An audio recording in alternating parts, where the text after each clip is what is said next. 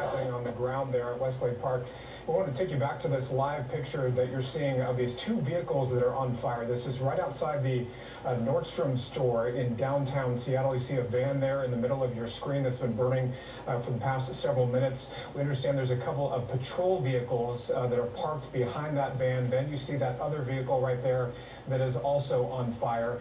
Uh, just a large number of people that are gathered a good distance away, obviously watching these vehicles burn.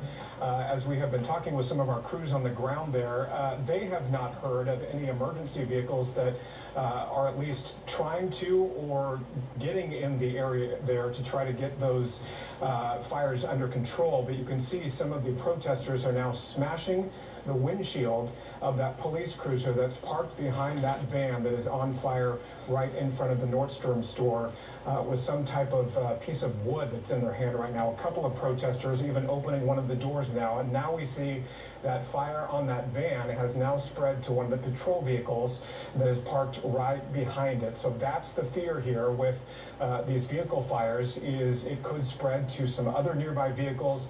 Also a concern about that uh, building that is nearby. Uh, and it appears as if there's some folks that are trying to all right, it, it, looks like there's some type of weapon there. We're going to break away from that shot there. Not sure who that person is, but obviously a very uh, scary and fluid situation.